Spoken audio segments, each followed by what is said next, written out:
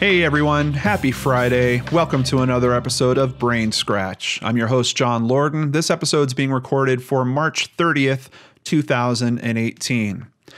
I want to give a big thank you to Susan for getting me connected with a man named Jeff Buziak. Now, Jeff is the father of a woman that was brutally murdered in a home that she was showing. She's a real estate agent. This happened back in 2008. A bit of a popular case. It's been covered by uh, Dateline. It's been covered on Crime Watch Daily, a couple of other podcasts. Um, it's a very intriguing case. There is a lot to it. And one of the things that really motivated me to cover it uh, primarily was seeing Jeff's amazing work with this case. This is a father that has not stopped. Uh, if you take a look at Google News results around this, you will see every single year he has a march in Lindsay's honor. Let me bring up a photo of her here. Here we go. Uh, every single year he has a march in her honor around on the day, usually, uh, that she was killed. And that happened all the way up until this past February 2nd. Um, and every time he does it, you can see the press that comes in around it. He brings the awareness back to this story. He is, speaks very openly. He maintains a website, uh, including a pretty good um, timeline that we're going to go over, but also his thoughts and theories. And this is a man that's not afraid to name names. Uh, not afraid to go confront someone on the street and ask them if they are involved in this or not. Uh, this is a father whose heart is really out there in terms of this case. And it's very inspiring to see that, particularly when you have a case that is 10 years old and still not solved.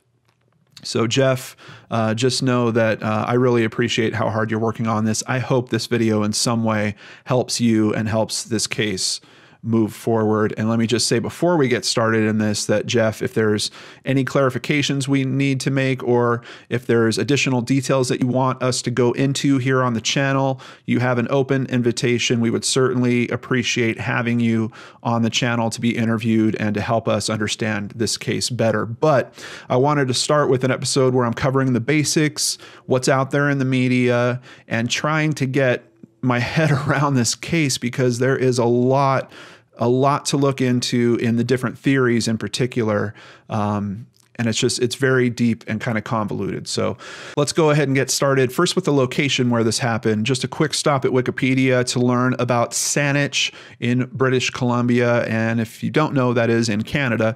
The district of Saanich is on Vancouver Island in British Columbia, within the Greater Victoria area. The population was 114,148 at the 2016 census, with an area of 103.44 square kilometers uh, just about 40 square miles. It is the largest municipality in Greater Victoria. And one of the things that you're going to hear, particularly if you review a lot of web content on this, is despite a pretty decent population size, it seems like this is a pretty close knit community, a community where uh, people know each other. Um, so I guess, you know, that's also a cultural affect, right? Just kind of how friendly are people? Do you know your neighbor? I can tell you just from me living in California my, most of my life and now living in Minnesota, uh, where you live regionally can certainly affect how many people you know around you. Quite honestly, I didn't know many of my neighbors in California, but uh, let's go ahead and move forward. And this article is actually jumping ahead a little bit. This is from January 31st of 2013, but it has a pretty good synopsis about this case. So I wanted to start here. Uh, Uh, and this is from globalnews.ca. On February 2nd, 2008, Lindsay Buziak was stabbed to death inside an upscale home in Saanich's Gordon Head neighborhood. Earlier that day, the 24 year old received a call from a woman with a foreign accent asking for a showing at about 5:30 p.m.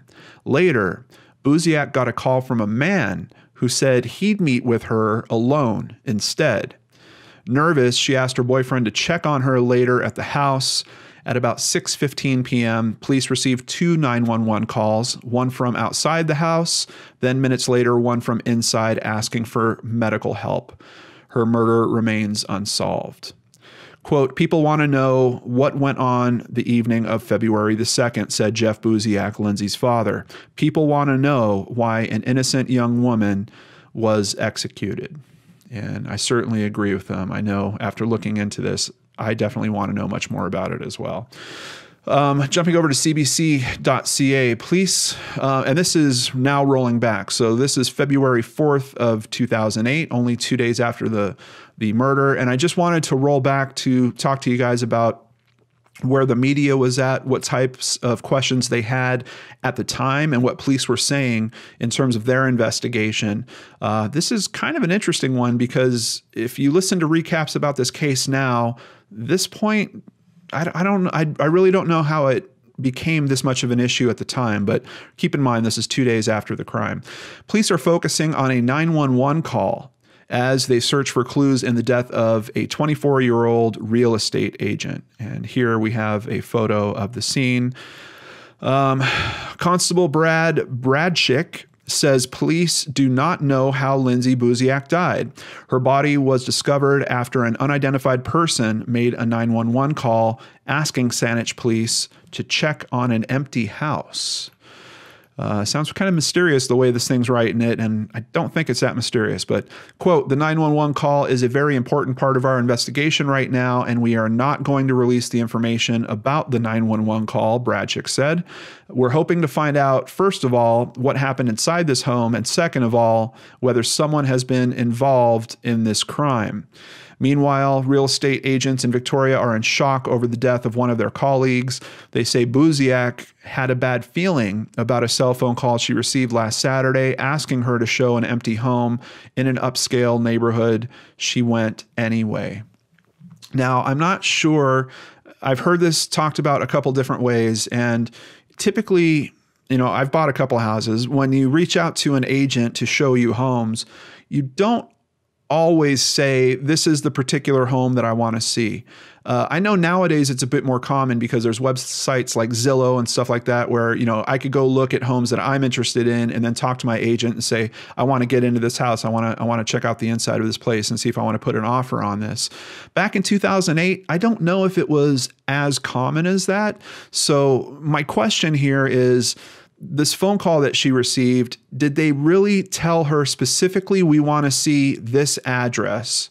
Or did they say, we're just looking for homes and here's the conditions? And I think we're going to be able to answer this question when we get to a different website.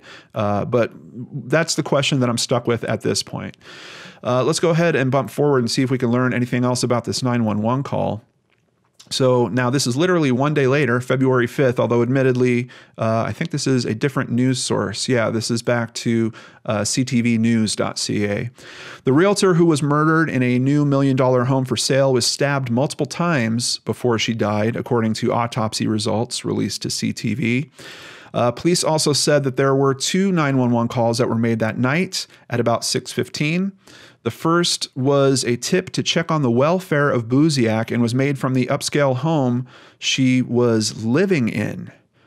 Um, that's kind of interesting, and I'm not sure if that's completely accurate either. The second, made only minutes later, was from someone inside the home who had just found the body. The great uncle of the realtor is also a retired RCMP officer, says he thinks Lindsay Buziak was set up. Gus Buziak, 75, worked in homicide as part of a 30 year career in the RCMP. Quote, she was a pretty young lady and he saw her picture in the paper. I think he called her and she came to the house. It's probably not his first time, and it's probably not his last time, he said. I hope to God they get him before he strikes again. Of course, around all this, you have the real estate industry saying, uh, whoa, we, we're kind of worried. How, how are we going to be safer? Uh, the Greater Vancouver Real Estate Board is encouraging agents to take steps to ensure their safety. Uh, introduce the client to someone in your office. Jot down their car description and license plate. Use your own car to get to a property. Uh, check all rooms and determine escape routes. Make sure the doors are unlocked. Use a code word in a potentially dangerous situation. Trust your instincts. Really important one. Uh, it sounds to me like Lindsay really was worried about this initial contact. Um, the situation, I think, kind of overrode her fear because you had people saying, We want to buy a million dollar home this weekend. We're only going to be in town for three days, basically. We need to make this happen. And of course, you know, as a real estate agent, you're looking for that commission, you're looking for making money. Uh, and that would have been a significant amount of money, especially for a young agent. From what I understand, Lindsay had only been doing this for, I don't even know if it was a full year at this point. Um, she was kind of a junior agent, so this probably would have been a really big deal to her. Um, have someone from your office, relative, or a friend stay with you, and then, of course, call the police if you are suspicious. Uh, all good tips that I think still make sense today. Uh, jumping forward to February 7th, 2008, almost four days after he found his slain girlfriend in an empty house, Jason Zailo accompanied police yesterday to the place where real estate agent Lindsay Buziak was stabbed to death. And just to put a face to the name, let me find you. Here we go. This is a picture of Jason right here, and this is Lindsay over here. Uh, here's another one of the two of them from the Crime Watch Daily episode. So, yeah, that is what's really interesting about this case. So, Jason is the person to find her body. Uh, now, I know many of you are probably saying, oh, whoa, whoa, hold on, you know, red flag, red flag. No, I totally agree with you. But he has an alibi. He's literally seen on tape at a different location at the same time that these people are showing up to this house showing. Uh, he drives to the house showing because she did talk to him about the fact that she was nervous about this. And he said, Well, you know, I'll be sure to come by. Um, he did go to the house showing with a friend of his in his vehicle. So you've got uh, you've got an alibi set up all around this. Now, some people might question is it too much of an alibi? It's, is it kind of the perfect situation? We're going to dive into that a little bit more too. Um, but it's it's really tough to look at this case and to not have some consideration about Jason's involvement because yes, he is the first one to get to Lindsay, and there's a bunch of other stuff around it as well. You'll see as we as we crack into the details here. Um, so, yeah, uh, four days later, they do take him back. They make him walk through the house. Uh, while police would not comment specifically on yesterday's crime scene walkthrough, Sergeant John Price, a spokesman for the Saanich Police, said such a practice would not be unusual. It's not uncommon in a homicide investigation if people are on the scene prior to police, whether they are witnesses or ambulance attendants, uh, to be asked to retrace their steps so any forensic evidence can be explained. So basically, they wanted to know what he might have touched as he entered. So if they found his print somewhere, they could say, okay, it makes sense. You know, he told us that he did this. Uh, if they find his prints in a different room or, you know, in the kitchen where the knives are kept or something like that, and he doesn't give them a reasonable explanation for that, then they have cause to be concerned about what he's saying. Uh, you can actually find clips of this walkthrough uh, on YouTube. And they also include most of those clips in the Dateline episode and the Crime Watch episodes. I'll include all that in the description box below so you can check those out. Uh, I also do want to call out a podcast called Case File uh, that I'm amazed I haven't bumped into before, but is a very good podcast. They did a really good episode on this. Um, I get a little frustrated when I hear information and I don't know where it's coming from. That's part of why I do the show that I way I, the way I do it with you guys, so you know where these pieces of info are coming from. Um, but it, to me, it's it's a really good listen if you're interested in this case, and especially in hearing a lot about one of the theories in particular that we're only going to lightly touch on here. Uh, I suggest that you check it out, and I'll have a link to that in the description box below as well. But can we crack into the details thanks to LindsayBuziakMurder.com, which is the website run by her father, Jeff? Yes, we can. He has uh, the first link on here is the Lindsay Buziak murder timeline, and we're going to go through a lot of it right now. So her boyfriend Jason and Lindsay went to Sauce, which is a restaurant, for a late lunch. Lindsay and Jason paid the bill at Sauce at 4:24 p.m.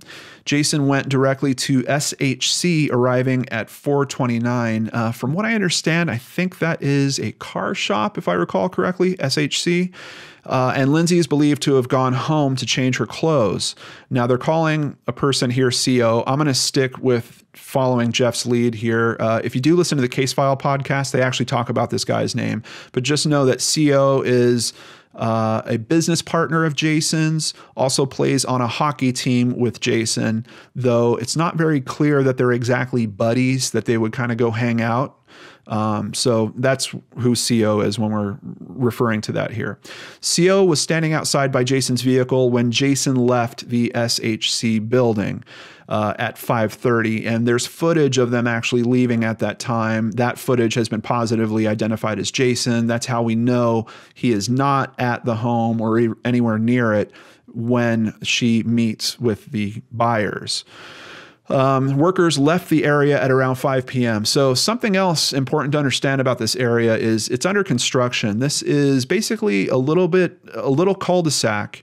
Uh, and this view of the home, this is the actual home right here, is from June of 2009. So, about a year and a half after the occurrence happened. And even at this time, you can see there's still construction going on here. Basically, this home next door was being built at that time. Uh, and the cul-de-sac is pretty small. I think there's only one, two, three, and I believe this is as of today. There's only four homes on this cul-de-sac. It's very, very small. So um, the construction workers were working, despite this being a Saturday, uh, they were working up until five, and then of course. Lindsay is showing up here at 5:30 to meet with these buyers. Some people wonder was that planned or not because you know the construction workers are leaving you've got a bunch of witnesses that have left and then a half hour later you have the culprits showing up uh, something i wonder about is um, you've got other neighborhood here that was already pre-existing you've got houses all across the way the way all up and down uh, Tor- torquay street hope i'm saying that right um, and this is a saturday afternoon so some of the witness statements, I believe, are coming probably from neighbors that live in these houses here. And there is some things that they witness in particular about the couple that show up to take a look at the house. And here we get to it. Two witnesses saw the suspect couple walk into the cul-de-sac at approximately 5:30 p.m. The witnesses saw Lindsay greeting the couple by the back of her car in the driveway. There were papers on the trunk of Lindsay's car.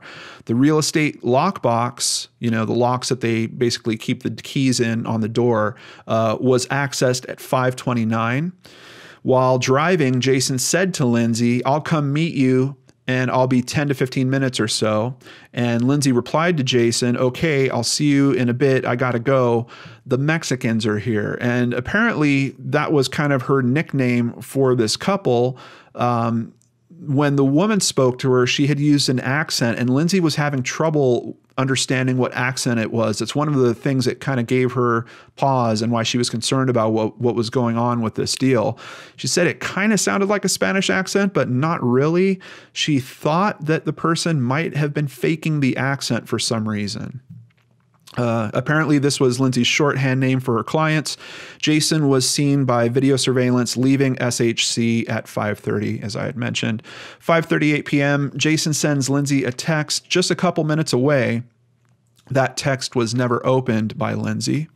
Jason stated on Dateline that when he was parked on Torquay, he sent Lindsay another text that said, "Are you okay?" Um, there's a little bit of a dispute being noted here because, according to one of the detectives, they're saying that the last text that Jason sent was the one that says, "I'm just a couple minutes away at 5:38." But her father's trying to point out, according to Jason himself, he's saying that he sent another one saying, "Are you okay?" Um, I would like to think that they have the records from his actual phone and they could clear that up for Jeff. I don't know why the detectives haven't cleared that up for Jeff at this point, but he's just pointing out that there's a bit of an inconsistency here. Now, from 538 to 541, police believe this is when Lindsay was murdered. And the reason for that is because of what happens at 541. Her Blackberry makes a phone call out, and the police believe that it was the direct result of the attack. It was basically a pocket dial. Uh, the Blackberry was in her pocket. I don't know if she might have bumped up against the wall, or maybe it was when she was knocked to the floor, or something around along those lines. But it basically was a pocket dial that went out at 541. Per Detective Sergeant Horse uh, Horsley, when Jason and CO drove into the cul-de-sac at approximately 5:45, Jason and CO saw the front door open and the male suspect outside but only saw the back of him. Jason parked his vehicle on the opposite side of the road uh, to the house. So let's just go back to the map here so it can kind of explain it here for you. So obviously the house is on this side. He parks on this side, but according to some information I've seen, he doesn't park directly across from the house, but kind of uh, further down here away from it, maybe even over here where in his rear view mirror he's kind of watching the front of the house but he's not particularly close to it. Now he's there for about 10 minutes and then decides he's going to change location. He comes down the road, makes a right, and then winds up parking right next to the house on the side here. And one of the reasons why I have this satellite view up is because there's a lot of talk uh, when you look into this case about the backyard. From what I can see here, there is no real backyard to this house.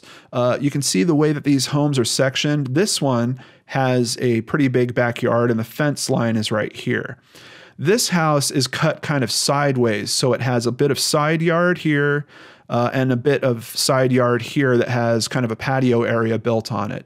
Uh, almost the same as how this house is. You can see this house has no real backyard either. It's got land kind of off to the side of it. So I believe when we're hearing reference to the backyard, they're actually talking about the side yard that is over here. So, uh, as I said, you know, Jason sat there for about 10 minutes. Then he drove out and made the right on Torquay. Uh, they parked by the house for approximately another 10 minutes. This is supposedly when he sent the text message saying, Are you okay? And he didn't get a respond. That a response.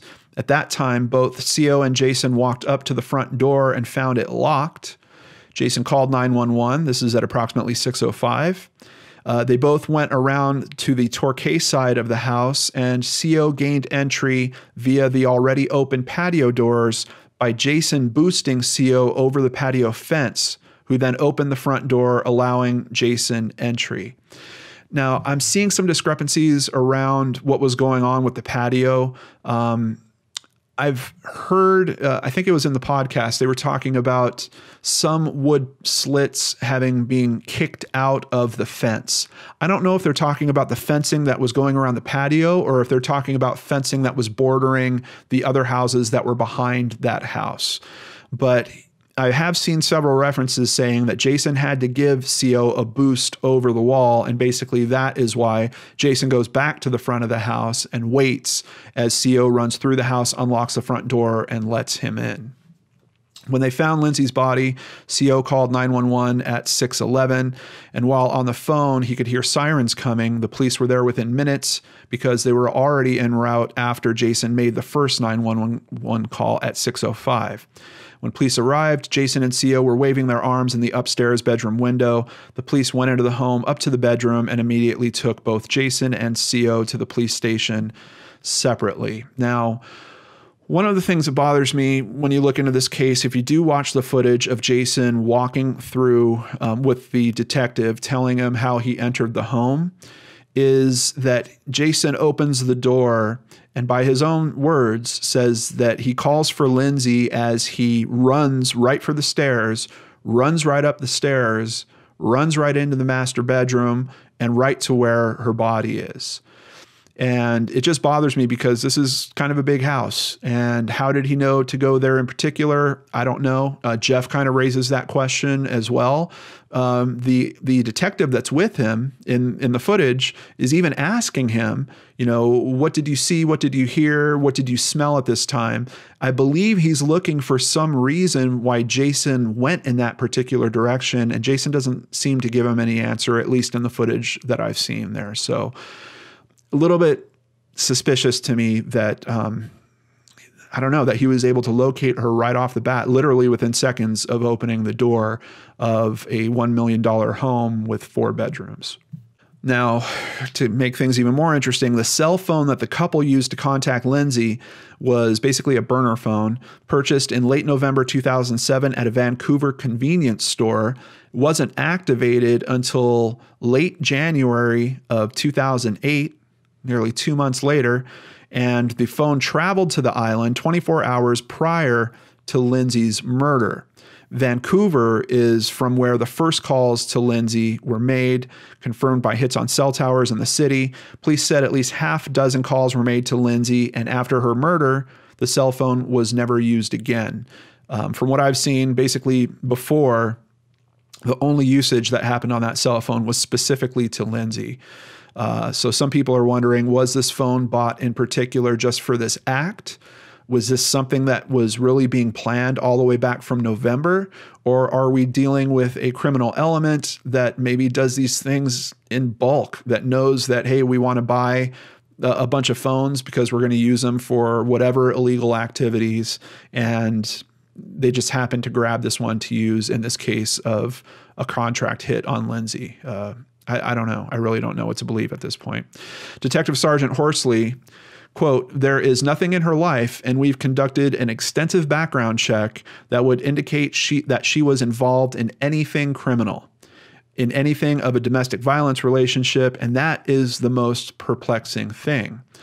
It is also possible Buziak's killers were under the mistaken impression she had revealed information she shouldn't have, he said, or perhaps that she was somehow connected to a dangerous person without knowing it.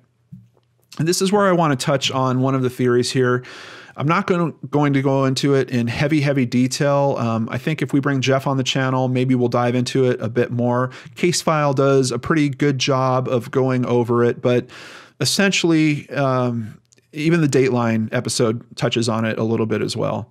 Essentially, one of the theories that detectives come to are uh, it seems like some friends of Lindsay are involved in drug deals, and there is a huge drug bust that goes down, I believe in Calgary, if I'm remembering correctly. Uh, and it happens around the time that Lindsay actually visits out there and she makes contact with some childhood friends, as I understand it but these childhood friends are now involved in some illegal activity. It's one of the biggest drug busts to happen in the country. So, the investigators' theory is that someone connected to that drug industry gets the word somehow that Lindsay is an informant that is responsible for this major bust that happens. And that is the motivation for this contract hit to take place. The thing that's tough about that is police have come out, at least on the Dateline episode, I believe, and said uh, she is not the informant. They're very clear. She is not the person that gave them any tip off. Uh, what supports that theory a little bit is she did say to her father that she saw something that she shouldn't have seen. But there's also some interesting connections that happen with Jason. He also is one step away from people that are doing illegal activities as well, including drug deals and actually worse things. So um, I don't know. I don't know if I buy the big kind of super theory that has been wrapped up in this that she's connected to uh, this major drug bust.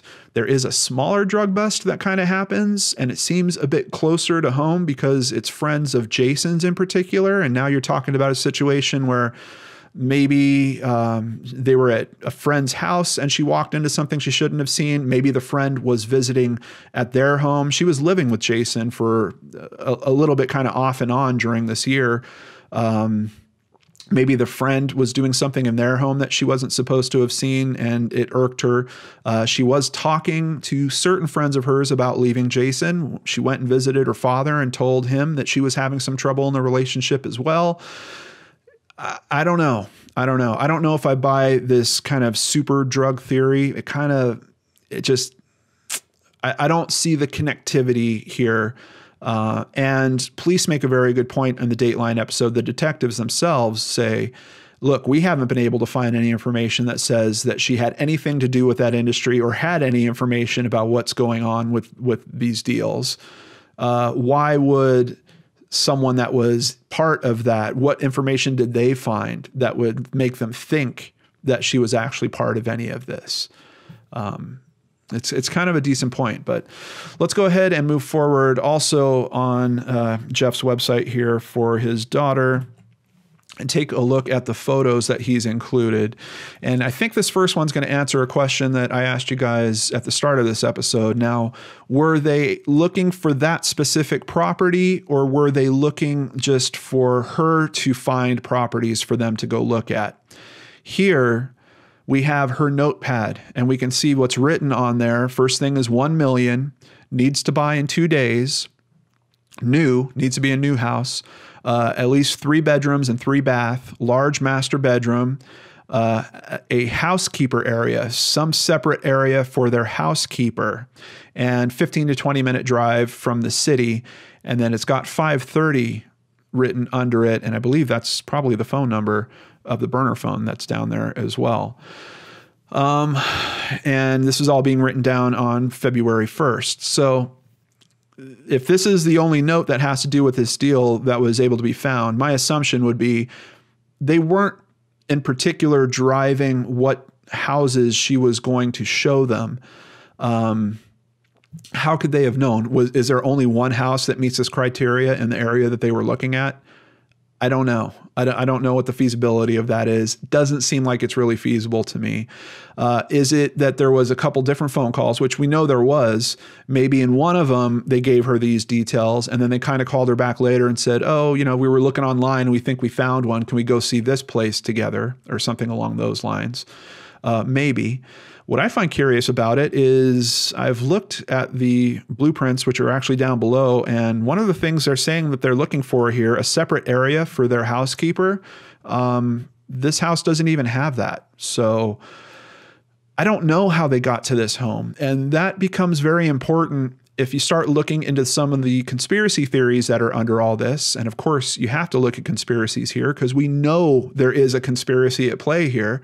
Um, but one of those theories is that Jason's mother is connected to the person that is developing these homes. Um, so she's already aware of this location essentially. Is it something where Lindsay would have asked her, would have said, Hey, I got this phone call on this potential $1 million deal. Do you know of a location like this? And then that way she could be guided to this location. I don't, I don't know, but I'm just wondering about how strong the connection is about that particular location? Was it really planned to be that specific house that Lindsay was supposed to take them to? And if so, how did they control that decision? How did they make that really happen? Uh, other photos are showing here. This is the entrance to the bathroom is right here, and essentially, this patch of floor is where she died. Um, let's jump down to the maps real quick. So here we can see the main floor. This is the second story floor. Here is the master bedroom, and this red X is where she was found. Um, and you can match that up by the door to the bathroom, basically, uh, which you can see right here. looks like as part of the investigation, they removed the wood flooring uh, that she was on. Looks like they also removed um, the baseboards that were all the way around this room, probably looking for some type of evidence. Uh, this is an interesting thing. This dress was seen by a witness, um, by the woman that was in the area, and they said that the man the man was a Caucasian, about six feet tall, dark hair. The woman seemed to be uh, in having blonde hair that wasn't quite to her shoulders, might have been a wig but they could see this specific pattern coming out from under a jacket that the woman was wearing. Now, unfortunately, this is not a unique dress. Uh, it's a department store dress, so it didn't help them a whole lot, except for the fact that um, they have some idea of what the woman was wearing. But some people question is that almost a distraction tactic in itself because it's so bold that, of course, if you're looking at this person, you're going to notice that and you might not actually you know, spend a whole lot of time taking in her features of, of her face or something along those lines. Uh, here we have photos, pretty much the same views that we're getting from Google. I'd bet that they're actually from Google Maps, including that patio area, which I have a few questions about.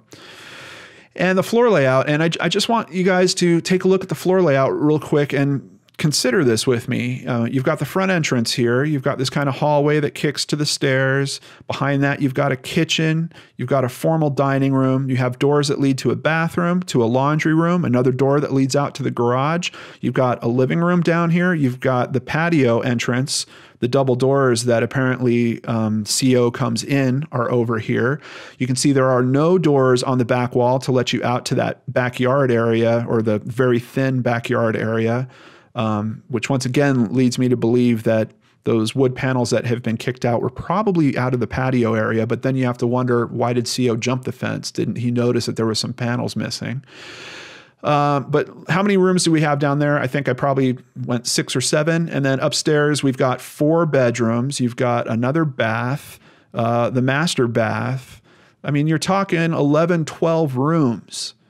And the guy runs in, heads right up the stairs, goes right into the first door, and finds her. Just very, very suspicious to me. All right, heading over to Vancouver Sun just to get a little bit of input on uh, one of the friends that has some connectivity to Jason. We want to talk about Zachary Scott Matheson. And this is another drug deal that occurred in the area February 18th of 2014. You can see big table full, looks like a bunch of pot, looks like some other stuff too, white powder, possibly pills, money counting machine, scales. Um, Matheson has a lengthy criminal record for property, drug, and violence related offenses and is well known to police for his criminal associations on Vancouver Island. He was once charged with second degree murder for the shooting death of a man who had begun dating Matheson's former girlfriend. But after Matheson associate David Nybergall pleaded guilty to the slaying, the murder charge against Matheson was stayed by the Crown. Matheson is also a friend of former Lindsay Buziak boyfriend Jason Zailo, according to a website dedicated to finding Buziak's killer. The photo of Matheson below is from that site. Uh, and on other pages on Jeff's website, you'll see pictures of this guy um, with Jason and with Jason's brother in particular. It's fairly clear that they're connected. Jeff seems to think that they have lied about that connectivity. I can't really find a particular statement to support that. Um, but these are guys. I think they've also played hockey together. There's there's quite a few photos of them actually being together. So it's clear that Jason has some connectivity to people. I'm not saying that he has connectivity himself to any criminal acts, but he literally knows people that are conducting some fairly serious crimes here. And quite honestly, for me, believing a theory that involves uh, this direction of friends and what's going on between Jason and Lindsay is quite a bit more believable to me than you know, she flew across the country, went to see her dad, talked to some old, you know, school friends, and someone thought that she tipped off the police because of that. It just, the feasibility seems really low for me, but maybe I don't understand enough about it. Uh, rolling forward to cbc.ca, here is a picture of Lindsay. Nine years after Lindsay Buziak was killed, a strange message that appears to be a confession was posted on a website devoted to the case. Of course, once again, Jeff's website. Quote, I killed Lindsay, and stupid cops will never prove it, so you all got nothing, begins the post on the website started and run by her father, Jeff Buziak. He calls out Saanich police that they'll never prove it and they've shut down the investigation, Buziak says. Uh, I did find an original posting of it. It's. I didn't want to share it with you guys because it's it's kind of insulting the way that it's written. Uh, the main points are coming across in this in this article. He's basically saying that um, the police are faking this investigation at this point, and they just need to stop and put it all away. And you know, boohoo, there's nothing you guys can do about it. Uh, and that's being very light with how it was worded. Uh, quote, this is the first time we've had someone step up and claim that they're responsible for the murder. I've asked for that from the beginning, that the coward should step up, should step forward, and maybe this coward has decided to take responsibility for it. So hopefully Saanich police figure that out. Police in Saanich, which is part of Greater Victoria, say they're aware of the website and what's posted on it, but would not comment further. And I know this week we've we've kind of run the gamut. We had a case on Searchlight earlier this week where we talked about cops doing a pretty amazing job in a missing persons case and the father really appreciating their work.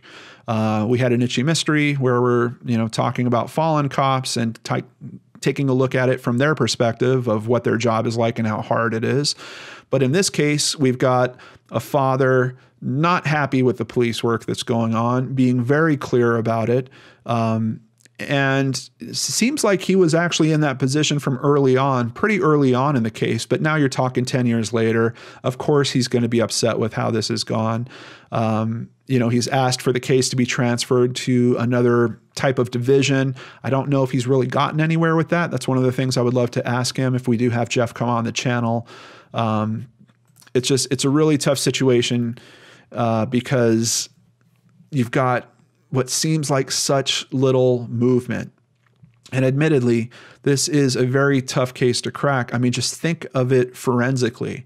You've got a completely clean location. This is a brand new home that is being built in this area. You've got people she is completely unfamiliar with. They are supposedly clients. Uh, one of the things that's really interesting about this case is they called her initially on her personal cell phone number. And she even asked them, Well, where'd you get this number from? They said, Well, we were referred to you by some other clients of yours. She tried to reach out to those clients. Unfortunately, they weren't in town at the time. Um, so, once again, even that is showing there was definitely some research that went on here, even for them to be able to fake the reference. They had to know some real clients that she had. But for you to research that and to not be able to research what her business line is, I mean, try to find the business phone or phone number for any realtor uh, in Canada or in the US. It takes you about two seconds. I mean, their phone number is their business. So, how did they use the wrong phone number in this case? Or was there a particular reason? I don't know, but it's showing a level of personal knowledge of Lindsay uh, that makes me quite a bit uncomfortable about what's going on in this case. Now we're going to jump to some current media about this case. From TimesColonist.com, an article written on February 1st, 2018, right before the 10th anniversary of her. I hate calling it an anniversary almost, but I don't know what else to say there. Um, people are withholding information in Buziak murder case, police say. Saanich police said they believed a number of people have personal and firsthand knowledge of the killing and have withheld this information. Saanich police have worked tirelessly with the RCMP and Victoria Police in partnerships to achieve success. After 10 years of work, we regret the success has not been achieved to date in our investigation. As with other pre-planned and targeted murders, the perpetrators and or conspirators have taken steps to avoid apprehension by police, the statement said. Lindsay's father, Jeff Buziak, has been highly critical of the police investigation. He's created a website about her slaying. Saanich police say websites, blogs, and social media platforms have provided a forum for a lot of speculation about the homicide and the investigation. Quote, although not actively participating, the Saanich police are aware of the many falsehoods, accusations, and erroneous information posted on the internet.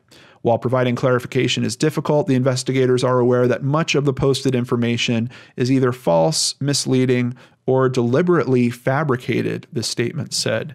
Um, I really wonder about that comment about deliberately fabricated. If you really did suppose that some of this information was being deliberately fabricated, wouldn't you look at that in particular to see who was doing it and why? I mean, if it's a known manipulation, wouldn't you think that might be someone involved in this case in some way? I don't know.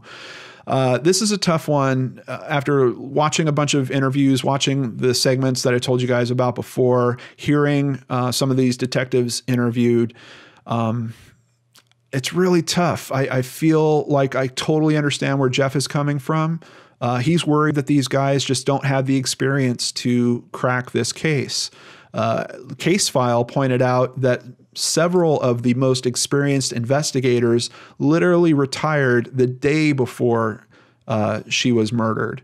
And it just is this a, the case of you know the the new blood getting in there and saying nah we'll take this you know we got this one let's just roll with it and and trying to make a name for themselves and just not being able to pull it off for 10 years i don't know um, it's just it's it's a heartbreaker on several fronts. We want to be able to trust our public services when it comes to things like this, and I can totally understand that. You know, uh, after ten years, this man Jeff doesn't feel like he can trust them. Uh, here's another article from CBC.ca, February 2nd, 2018. We can see he is doing what he has done every year since this occurred. He's having another march, and you can see he's got a bunch of supporters with him, which I'm really happy to see. Jeff Buziak Front led a march in Saanich, BC on Friday to mark the 10th anniversary of the murder of his daughter, Lindsay. He's frustrated that police have still not made an arrest in the case. Quote, the police know who killed my daughter, Buziak said. They know what is going on, and yet they can't seem to take it over the goal line. I I wonder about that. I wonder if this is a case where they truly do have a suspect in mind or they truly do think that they know the answer but they just don't have the forensic evidence or the evidence period, uh, circumstantial or otherwise, to make this work in court. I really don't know if this case is at that state because uh, despite the fact that there is a lot of commentary that comes out of this police department about this case. Uh, the actual information that they're sharing with us is quite thin. Uh, so it's it's really tough to know. For personally, uh, is, is, this case really at that point? Uh, Sergeant Chris Horsley says Buziak is mistaken about the quality of the evidence. Quote, he is really forming his opinions based on things that are out there on social media, internet, websites, and blogs that are putting things out there that, for the most part, simply aren't true, Horsley said. Uh, if we had the grounds to go forward to seek charge approval from Crown Counsel, we certainly would have done so at this time. Horsley said the investigation into Lindsay Buziak's death is ongoing. Uh, one of the things that's interesting to me is we've now seen two quotes from them where they're saying that hey look there's people that are talking on the internet and they're saying that they're saying stuff that isn't true. Uh, would it be terrible for them to tell us what those things are? Would it really compromise the investigation at this point? And let's be honest here. We're talking about uh, 10 years into this case at this point. Is this ever going to turn into a conviction is it more important that maybe we actually just have the truth come out rather than even seek a conviction in this case and let a father move on with his life? Um, I don't know.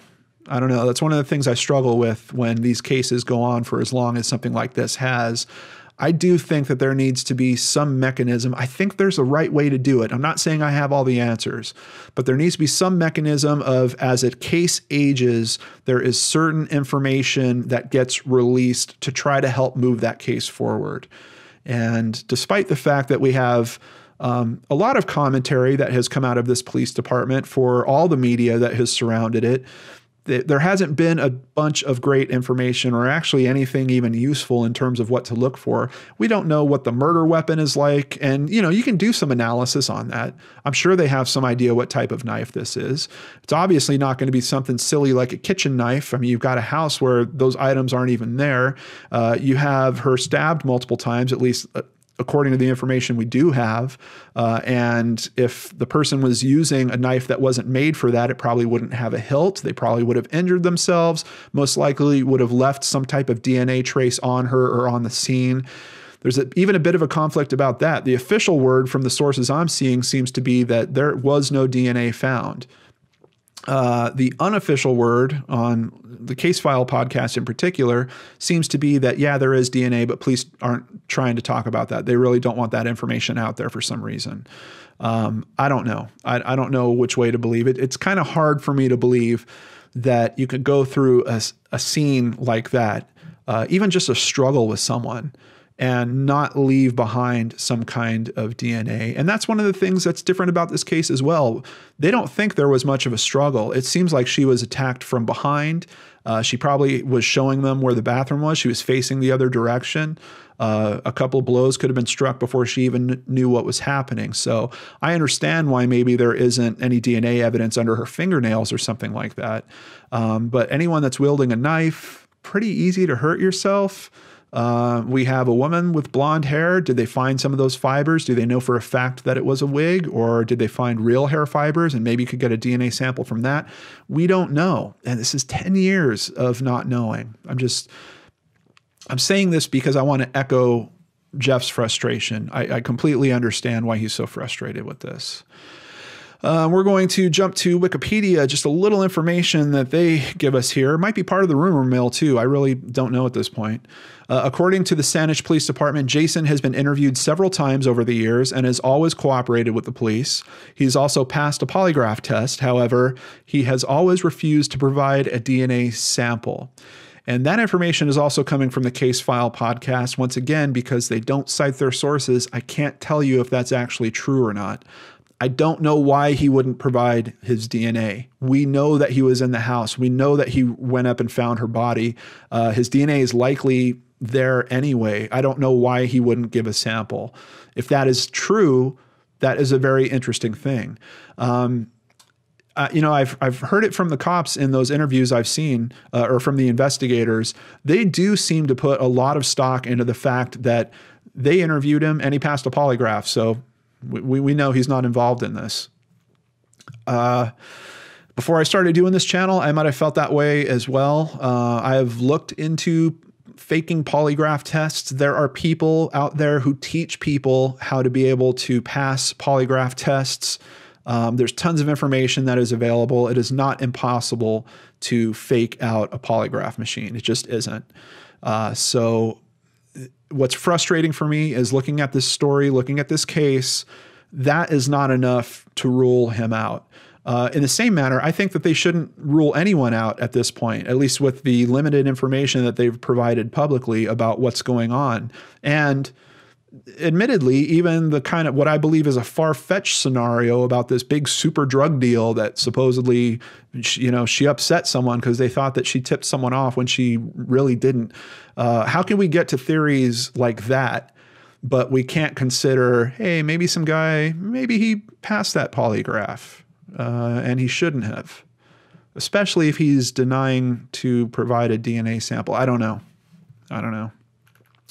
The family of Jason Zailo were investigated due to their connections with the cul-de-sac.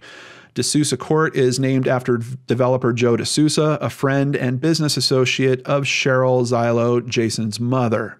Part of the cul-de-sac was still under construction at the time of the murder, and D'Souza himself was at the location an hour before the murder, supervising the construction work. However, the police have stated that no one in the Zailo family is a suspect. Uh, I don't think they've identified any suspects. So later in 2008, a close friend of Lindsay's called Nikki claimed that she was woken by a telephone call in the middle of the night from an unknown number. As she was half asleep, she did not register much of what the female caller was saying, but she noticed that the caller had a strange accent that she could not place. She became scared when she remembered that Lindsay had reported that her unidentified client and possible murderer had an odd accent. Now fully alert, she called the number back, but no one picked up. She called repeatedly, 20 or 30 times, until someone answered. The person on the other end of the line was Shirley Zailo. Nikki asked Shirley why she called her and how she had her number, as they did not know each other. Shirley replied that she meant to call another Nikki, her secretary, and that she didn't know why this Nikki's number was in her contact list, but presumed that her son Jason must have added it. Shirley Zailo categorically denies that this event occurred, and it has not been publicly revealed whether Nikki's claim was followed up by the authorities. Um, I'd be really curious to know if that was true also, and that could be something as simple as Nikki providing um, her phone bill. Uh, quite honestly, uh, I'd even take a screenshot of, of her call log on her cell phone just to show that that was actually what happened there. Um, you know, in these cases, I always look for the silver lining. Uh, here we take a little bit of a dodge before we get to the silver lining. Real estate agent's sexy billboard ad sets tongues wagging. Uh, we have a billboard here. Let me take you. Let me take you home. It's gorgeous inside for a Remax agent, uh, Diana. Uh, Remax is actually the same company that uh, Lindsay was working with, I believe. Uh, and we get a quote here from Jeff Buziak, an advocate for agent safety whose own daughter, real estate agent Lindsay Buziak, was murdered by a client while showing them around a home in Calgary. I don't know if it was in Calgary. Uh, anyway, it scares me that anyone would want to put an invitation out there, as subtle as it might be or humorous as some might think it is. I do believe it's an invitation opening the door for something else that is not real estate. Yeah, I don't know that. Uh, And several commenters uh, on this article kind of talk about that too. You know, who's going to hire this person um, to use them for their home purchase or home sale? Uh, particularly if they're in a committed relationship. I don't know if my wife would love that that's the person that I'm hiring. Um, but outside of that, November 10th, 2017, globalnews.ca, uh, we have an article about a realtor that was attacked. Um, and she decided to try to do something about it. And she has now created an app specifically for realtors, uh, something that is basically you can trigger it if uh, you, you set up a bunch of emergency contacts and then you have your event scheduled. And if you don't check in for like your next meeting or the next showing that you're doing, it notifies all your emergency contacts hey, something's up, uh, lets them know how, what your battery cell phone life is. It sends them GPS information, uh, basically a map directly to where you where you are. Um, so some good things happening from bad situations. Well, believe it or not, that's not even all the information that I wanted to cover with you guys. I'm almost certain we're going to have a second episode, possibly with Jeff here with me going through this as well. But let's go ahead and talk about the theories, and then I'll turn it over to you. Uh, theory one this is a total stranger, possibly someone that found her online, um, maybe almost like her family member that used to work for the RCMP uh, suggested. Uh, a couple performing some type of thrill kill together.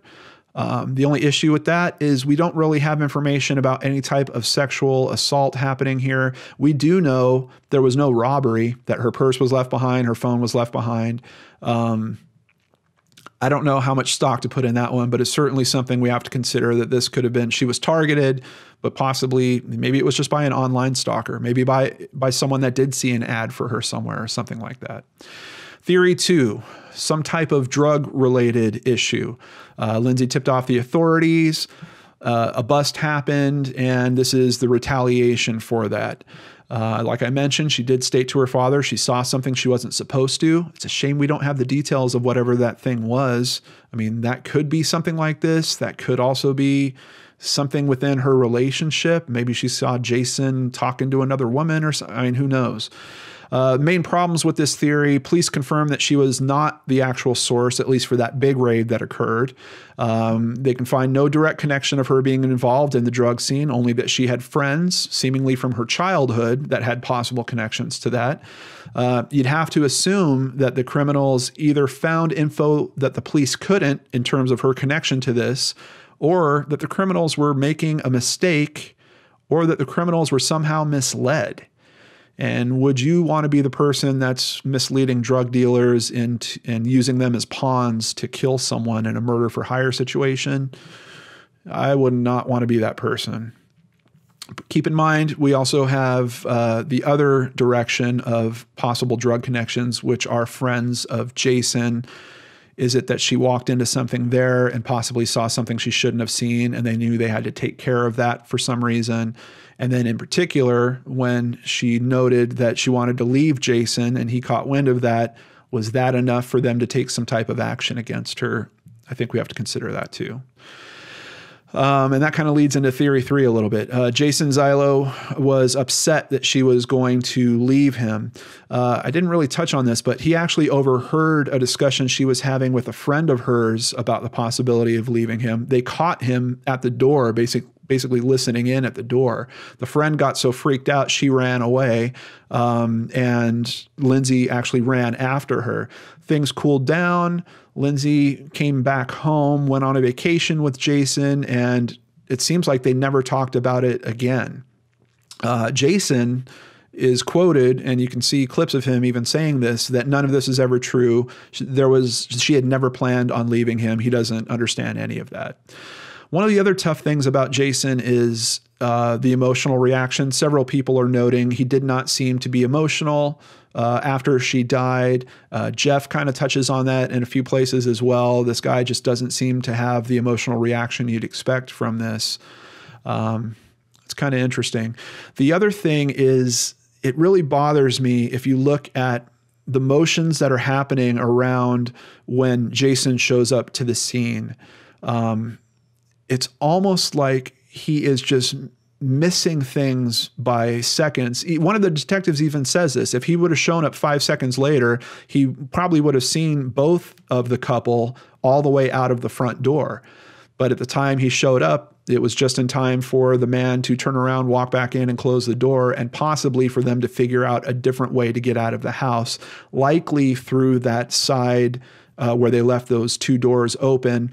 And then once again, I don't know, did they climb over the wall of the fenced in area there, or did they kick out some of the wood panels of the fenced in area?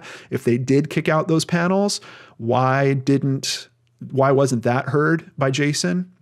Considering he's got a vehicle where he's either sitting kind of across the street, maybe too far away to hear it at that point, but then 10 minutes later, he drives to that side, most likely the side that they left from, the timing of all that bothers me, really bothers me. And I know there's an investigator on Dateline. Um, actually, I think he's an attorney, but uh, he says that it would be the craziest, dumbest thing for someone to do. You're paying for a contract.